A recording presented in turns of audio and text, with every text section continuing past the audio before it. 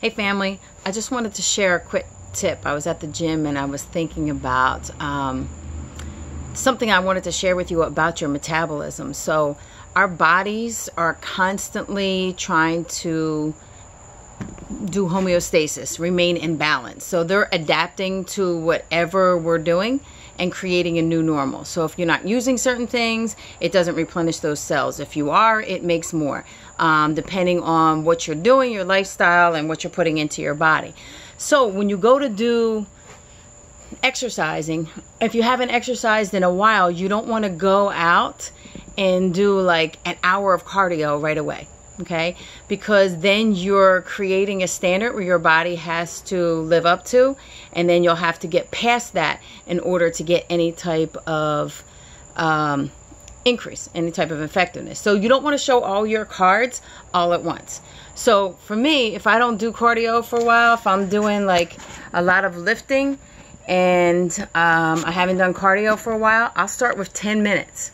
So i'll do 10 minutes of something uh, and I'll do intervals. So like 30 seconds high intensity and then 30 seconds low intensity. And I will keep that cycle up for 10 minutes.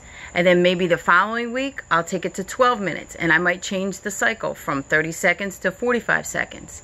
Then I might change the cycle from 45 seconds to a minute high intensity, a minute low intensity for 12 minutes, and then increase it for 15 minutes, and then increase it as you go. So this way, you're getting the most out of every experience. So instead of going to an hour, and then you have to maintain that and go past it, now I'm getting the most that I can out of that 10 minutes. 12 minutes. So my metabolism is reaching to what my effort level is. So if I want to boost my metabolism, I won't always want to keep it working.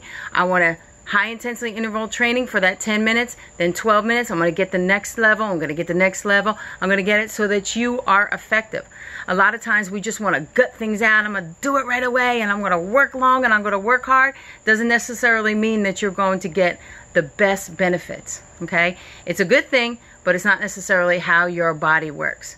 It's just like teaching school. Somebody can hand in a paper that's well written and two, three pages long, but if you're not answering the question that I asked, still wrong. Well, it's the same type of thing. We got to learn how our body works to get the most benefit from it. So that's just my suggestion for you. Take it or leave it. I would suggest start with 10 minutes. Go do, do those intervals, vary the times for the intervals, and then increase your time as you go to get the most and so that you train your metabolism um, to always be active and running at a higher level. All right, let's go get moving.